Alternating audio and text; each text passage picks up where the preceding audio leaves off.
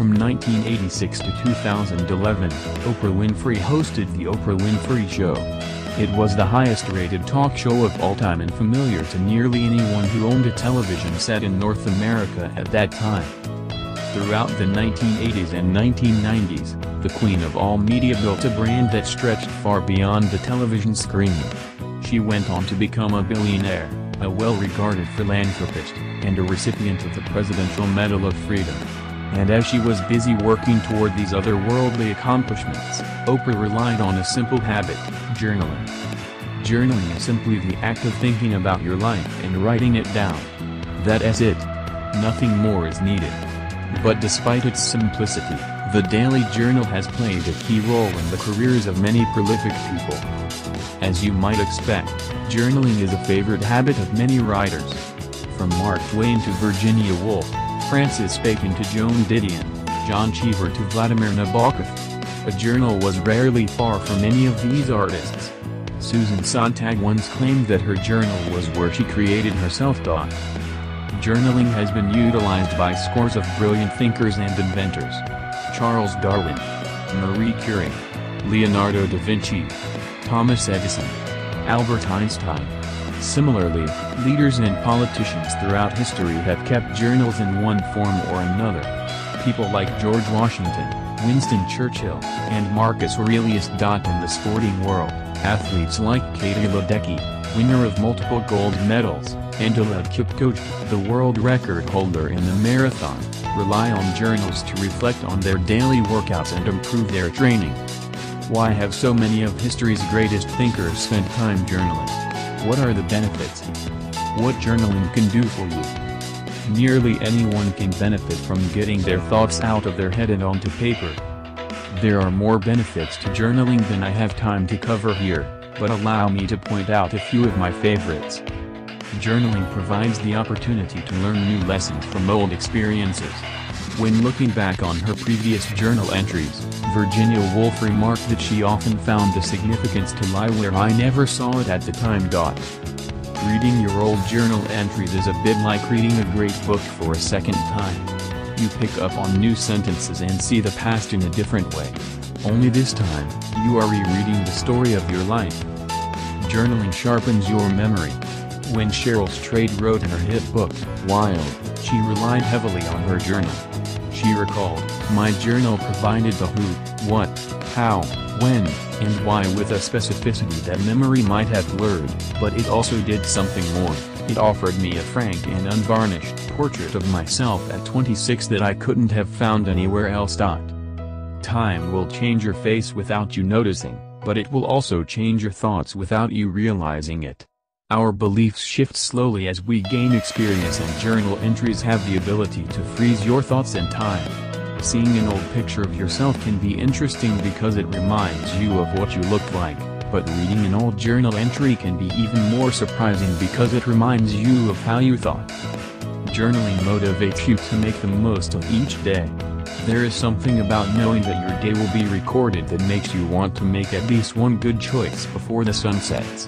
I will sometimes find myself thinking, I want to have something good to write down tonight.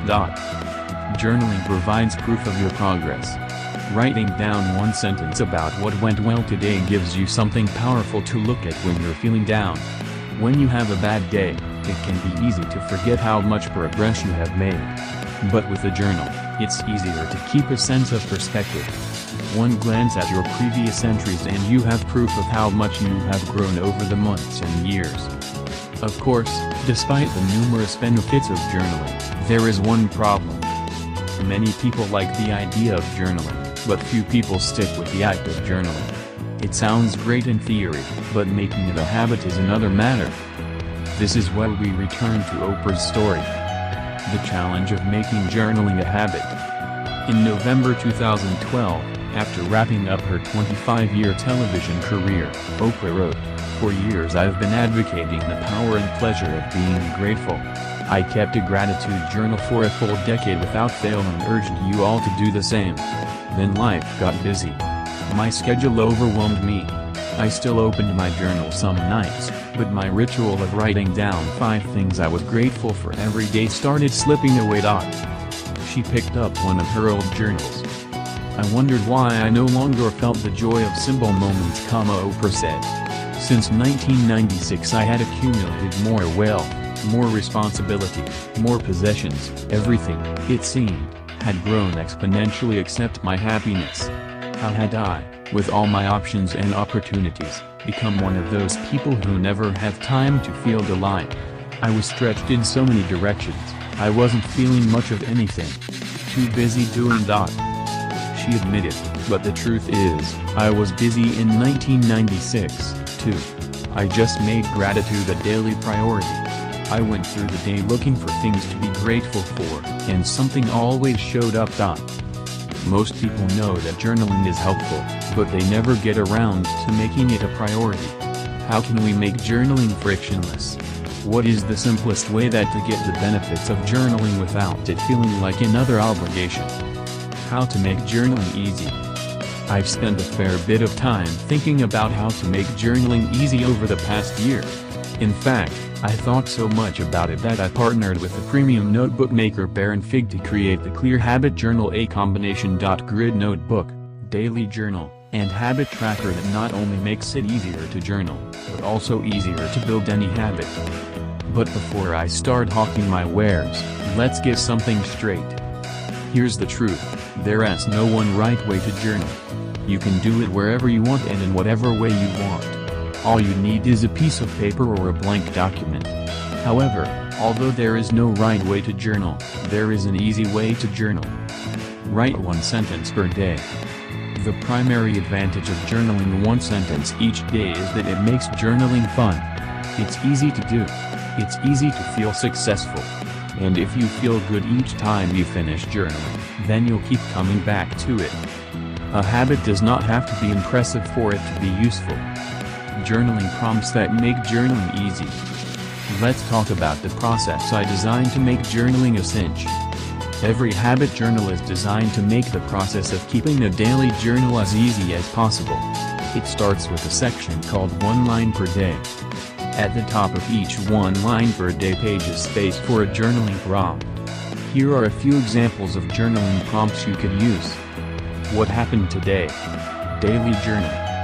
What am I grateful for today? Gratitude journal. What is my most important task today? Productivity journal. How did I sleep last night? Sleep journal. How do I feel today? Mood journal.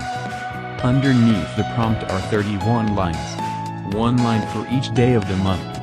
This is where you'll write your one sentence each day. To start your journaling habit all you have to do is write your prompt for the month and jot down a few words each day. Once the month is complete, you can look back on 31 beautiful journal entries. The entire experience is designed to make journaling so easy that you can't help but do it each day. That's it.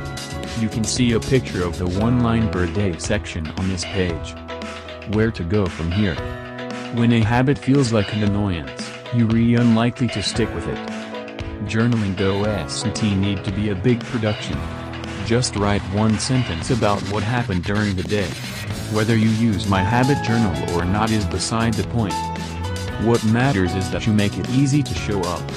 As Madeleine L'Engle, author of A Wrinkle in Time, put it, just write a little bit every day. Do not forget to subscribe to my channel and like my videos. You are valuable to me. See yourself in the next video.